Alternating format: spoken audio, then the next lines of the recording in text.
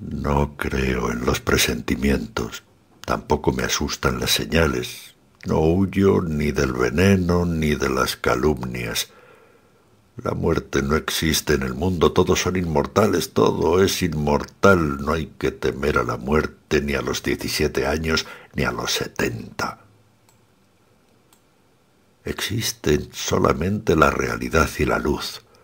No hay en este mundo ni oscuridad ni muerte. Estamos todos reunidos en la orilla del mar y soy de aquellos que recogen las redes cuando viene en cardumen la inmortalidad. Seguid viviendo en la casa y ella no se destruirá.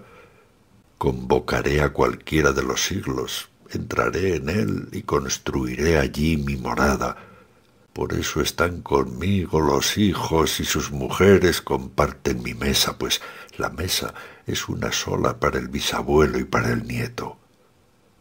Lo venidero acontece ahora, y si yo levanto la mano quedarían cinco rayos de luz para todos vosotros. Mis clavículas apuntalaron como vigas los días del pasado, medí los años con cadenas de agrimensor, horadé el tiempo como si fuese los Urales y elegí el siglo según mi estatura. Bajamos al sur y levantamos el polvo de las estepas. El pasto alto se alborotó, bromeó el grillo, tocó las herraduras, nos auguró el futuro con sus bigotes y me amenazó como un monje con la perdición segura. Até mi destino con las correas a la silla de montar.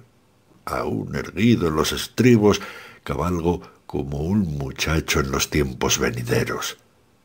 Me satisface mi inmortalidad para que mi sangre corra de siglo en siglo. Por un rincón seguro de dulce tibieza pagaría obstinado con mi vida. Si ella no fuera una aguja voladora que me tira como a un hilo por todo el mundo.